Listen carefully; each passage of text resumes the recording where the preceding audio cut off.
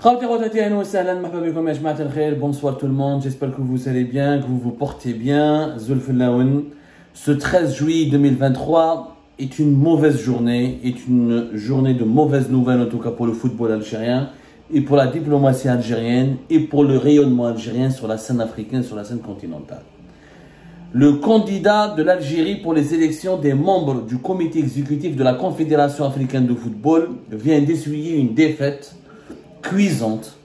Le président de la Fédération algérienne de football, Jahiz Vissef, n'a pas réussi à se faire élire parmi les nouveaux membres euh, du comité exécutif de la Confédération africaine de football, la CAF, qui est l'organe central et le plus influent de la Confédération de football africaine. Dans le comité exécutif, il y a 24 membres. Ils sont euh, élus euh, par moitié tous les deux ans. La durée du mandat d'un membre du comité exécutif de la CAF est de 4 ans. Et cet organe, Yajma'a, c'est lui, si vous voulez, qui gère l'ensemble, tout ce qui, toutes les affaires du football africain, l'organisation de la Cannes, l'organisation des compétitions locales, des compétitions interclubs, le développement du football africain, son organisation, sa structuration et son évolution. C'est l'organe de supervision de la Confédération africaine de football. 21 membres, pardonnez-moi, fait 21 membres. Euh, et c'est une élection capitale parce que être présent au cœur euh, du, euh, du comité exécutif de la Confédération africaine de football, ça permet de garantir aux pays africains d'avoir de, de, bénéficier de toutes les chances équitables, d'être bien défendus, que leurs intérêts soient bien, bien défendus lorsqu'ils veulent accueillir une, une compétition africaine, lorsqu'ils veulent, lorsque leur club ou là, lorsque les sélections nationales doivent participer ou là à des élections, à des, à des, à des compétitions continentales. En clair, euh, un pays un pays puissant, un pays influent se doit euh, d'avoir un représentant permanent ou un représentant parmi les 21 membres du comité exécutif de la CAF pour défendre ses intérêts, pour défendre les droits de ses clubs et de sa sélection nationale et pour promouvoir sa belle image, une image importante de, pour promouvoir son image et conserver son influence euh, à travers le football. Comme le football n'est plus qu'un sport, le football c'est un outil d'influence, c'est un outil géopolitique qui permet aux pays, pas seulement africains, mais aux pays du monde entier, on a vu avec la Coupe du Monde du Qatar récemment, de s'imposer sur la scène internationale, d'avoir de l'influence, d'avoir d'attirer des investisseurs, euh, d'attirer l'attention des décideurs des, organismes internationaux et euh, de porter la voix d'un peuple sur la scène internationale. Le football, encore une fois, est un outil de soft power, de puissance douce. C'est-à-dire, il offre à un pays la possibilité d'avoir de la puissance et de l'influence sans passer par les armes ou la par l'action militaire ou l'action violente. C'est ça la beauté et l'importance du football. C'est une cuisante défaite parce que Jahez Vissef, il a perdu face au président de la fédération libyenne de football, un certain Abdelhakim El-Shalmani. La fédération libyenne de football, elle active dans un pays où il n'y a pas d'État. Et nous n'avons pas été battus. Notre candidat n'a pas été battu par euh, le président de la fédération de l'Afrique du Sud, la fédération du Maroc, ou la fédération de la Tunisie, ou la l'Égypte. Il n'y a pas d'État en Libye. Mais qu'est-ce que la Libye La Libye, elle est en guerre depuis 2011. Elle est divisée depuis euh, maintenant 2014-2015. Il y a eu un accord de, de, paix en 2020, mais un accord très fragile. La Libye, est divisée en deux, entre Maréchal Haftar et ses troupes et ses alliés et ses partisans fait Benghazi, un gouvernement, une coalition de partis, notamment des islamistes fait Tripoli. La Libye, il n'y a même pas d'État. Et malgré ça, le candidat, le représentant de la Libye, a battu le représentant de la Grande Algérie. Et je me depuis 2017, nous n'avons plus de représentants au sein de l'instance la plus importante du football africain. L'ancien, c'était Mohamed Arawarawa. Il a perdu, mais de 3, 4 voix. 35, 38 voix ont, ont été, euh, le, 38 euh, contre 15. Voilà. Le, le candidat algérien n'a récolté que 15 voix alors que Abdelhakim el le Libyen, a récolté 38 voix. Et cette élection a été très attendue, pourquoi Parce que le régime algérien, le régime Tebboune, a mobilisé tous les moyens pour placer Jahiz Vissef au sein du comité exécutif de la CAF. D'abord, un, l'Algérie avait besoin en urgence d'avoir un représentant dans cette instance important de supervision de la CAF parce qu'elle est candidate pour l'organisation de la Cannes de 2025. Elle a déposé aussi un dossier pour la Cannes 2027. Si elle n'a pas de représentant qui peut faire du lobbying auprès de celles et ceux, parce que ce sont les membres du comité exécutif de la CAF qui vont essentiellement peser dans la prise de décision finale de l'attribution de la Coupe d'Afrique des Nations de 2025 et de 2027. Et l'Algérie a besoin. Alors, on a construit de nouveaux stades, on a fait des investissements. L'Algérie n'a pas organisé une Coupe d'Afrique des Nations depuis 90. Elle a disparu des radars du continent africain depuis des années. Là, elle a pu organiser la Chaîne 2023 et la Coupe d'Afrique des moins de, des moins de 17 ans.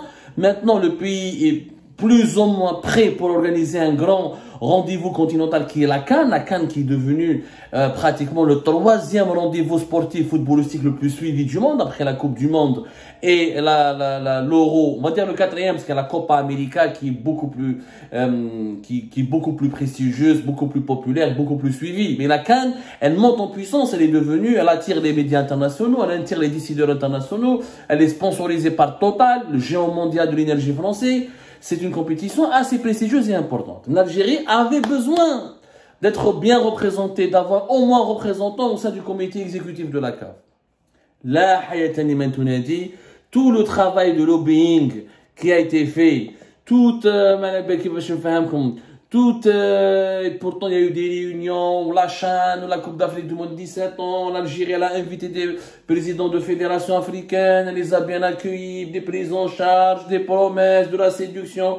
Ça n'a pas marché. Pourquoi? Parce qu'en face, on avait le Marocain Fouzi Larja, qui est l'un des personnages les plus influents, membre du comité exécutif de la CAF, mais aussi membre d'un comité, euh, il est membre aussi d'une instance au niveau de la FIFA, il est aussi vice-président si je me trompe pas, c'est lui le vice c'est lui qui est vice-président, il est vice-président de ce comité exécutif de la CAF. qui dès le départ, à juste titre, il a été désigné comme étant, euh, parce que voilà, le comité exécutif de la CAF, il y a deux vice-présidents. Euh, il y a le Marocain Fouzi et le Sud-Africain Alexandre Danny Jordan. Euh, Fouzi qui dès le départ a été désigné comme l'homme qui voulait torpiller les intérêts de l'Algérie, l'homme qui, qui, qui, qui, menaçait directement les intérêts de l'Algérie parce que il représente la, la, guerre entre le Maroc et l'Algérie, la guerre du lobbying, la guerre de l'influence entre les deux pays du Maghreb, c'était, a été téléporté sur le terrain du football et Fouzi Lorja représentait vaillamment, entre guillemets, il a bien défendu les intérêts de son pays, puisqu'il a saboté la candidature algérienne, et c'est lui, tous les médias spécialisés, toutes les sources proches de la CAF, tous les médias africains spécialisés en football le disent, c'est le Libyen, à, comment il s'appelle, Abdel Hakim Al-Shalmani a réussi à drainer 35 voix, c'est grâce à Fouzi Lorja qui a mobilisé beaucoup de ses amis au sein du football africain pour provoquer la défaite de l'Algérien Jahid Svizev. Donc Fouzi Larja a battu l'Algérie, Pourquoi? Parce qu'il a un carnet d'adresse. Parce que le Maroc, il a une politique de lobbying et d'influence qui date depuis le milieu des années 2000, puisque le Maroc abrite l'entraînement de plusieurs sélections nationales, plusieurs matchs amicaux et matchs officiels de certaines équipes africaines sont organisés au Maroc, le Maroc offre des aides euh, aux, autres, à beaucoup de fédérations africaines pour développer des infrastructures, pour former des entraîneurs, pour former des joueurs. Les clubs africains sont souvent régulièrement accueillis au Maroc pour leur, euh, leur stage d'entraînement, etc. Pendant ce temps-là, en Algérie, Aïchine le passé. L'Algérie parle du Polisario, elle parle de... Euh, on insulte le Maroc, les Marocains travaillent. on les insulte. C'est ça la réalité, il y a deux types de, il y a deux types d'individus dans le monde. Il y a des individus qui travaillent dans le silence et qui font pas de bruit. Et des individus qui passent leur temps à faire du bruit en insultant, en faisant des polémiques, en criant au complot, en criant au scandale, en provoquant ce que nous avons fait depuis toujours, depuis 2020, on le fait régulièrement contre les Marocains. Et les Marocains, à la fin, ils gagnent parce qu'il y a une rigueur, il y a une discipline. Et nous, on ne gagne pas parce qu'on fait que, on n'a pas de stratégie. on croit que l'agressivité, c'est l'efficacité. L'agressivité n'est pas l'efficacité. L'efficacité, c'est le pragmatisme, c'est le lobbying, c'est avoir gagné des, c'est séduire les, les, les, interlocuteurs étrangers pour les pousser à être dans notre camp en échange d'une contrepartie, en leur donnant, en leur faisant des cadeaux, en leur donnant des aides, en leur faisant des investissements, des investissements chez eux. Oh, c'est ça le lobbying. on ne sait pas faire ça. Le régime de Bonne est en train de provoquer le déclin de l'Algérie sur l'ensemble des domaines. Même dans le sport, même dans le football, on n'arrive pas à battre les Marocains. هذه ما صارش sur بوتفليقه كان عندنا راهو راهو راهو كان على ديدان وحبنا ولا كان راهو راهو je ne suis pas de ses partisans. Alors, les enquêtes sur Algérie par sur Mohamed Rawalawa, j'ai pas été tendre avec lui. Il a fait des affaires. Il a permis à ses enfants de s'enrichir. Il avait fricoté avec les régimes. Il a même, euh, on peut dire qu'il s'est enrichi lui-même dans des conditions assez troublantes. Mais c'est un vrai homme de réseau. À l'époque de Rawalawa, l'Algérie avait une voix au plus haut sommet du football africain, même du football mondial. Il avait ses entrées FIFA, il avait ses entrées dans, dans, dans, pas mal de pays arabes, il était respecté par les pays africains, il était consulté, il était il était l'équivalent de ce que Fouzi il est pour le Marocain. Fouzi il est quoi? C'est un lobbyiste, il défend les intérêts de son pays. Et à juste titre. Les Algériens, on passe notre temps à insulter quelqu'un qui sert son pays. Et c'est ça, servir son pays. Fouzi le pour son pays, il est prêt à tout. Il défend les intérêts politiques de son pays. Il a bloqué, il a, il, a tout fait pour que, euh, pour empêcher tout débat sur une possibilité d'intégrer l'équipe, euh, des représentants d'une, fédération du Sahara occidental. Il fait tout pour que le Maroc euh, soit avantagé dans le calendrier des clubs maroc dans des clubs africains et il fait tout pour avantager le Maroc, pour défendre les candidats, les projets du Maroc, pour accueillir des compétitions africaines de grande envergure. C'est un patriote.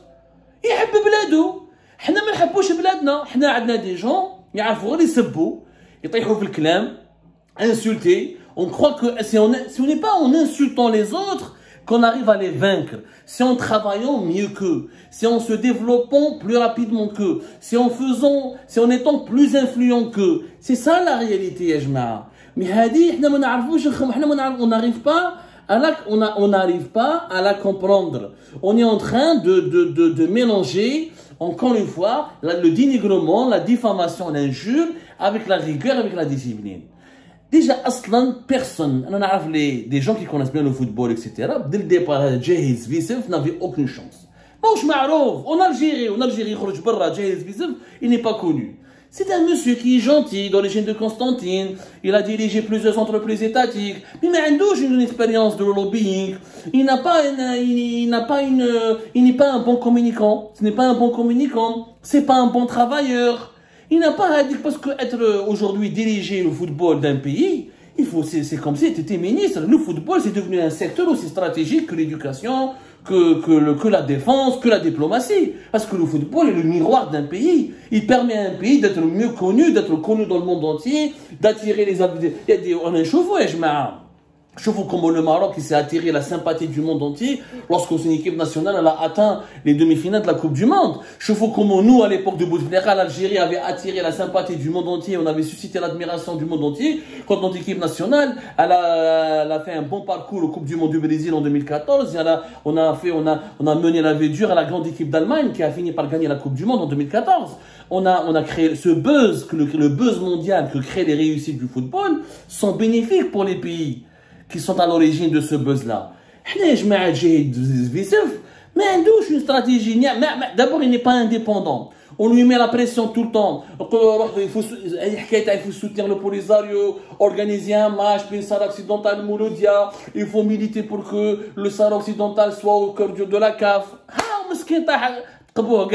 il n'a même pas récolté 15 voix. Ou des ambassadeurs du ministère algérien des Affaires étrangères. Tout le monde s'est mobilisé pour l'aider. À la fin, une défaite cuisante. Pourquoi? Parce qu'il n'a pas le profil du leader. C'est pas comme Rawa. Mais je suis déçu, je suis tellement énervé. J'ai mal. J'ai mal à mon Algérie. Wallah, j'ai mal à mon Algérie. Ni voulez ما كناش هكذا والله ما كنا هكذا 15 voix هكذاك on se traîne on est on n'arrive même pas à gagner une élection Flacaf. On n'arrive même pas à gagner une élection Flacaf. Comment voulez-vous qu'on organise la Coupe d'Afrique des Nations maintenant Comment, Où est l'influence de l'Algérie Avant, c'était quelque chose, l'Algérie. Avant, l'Algérie inspirait le respect.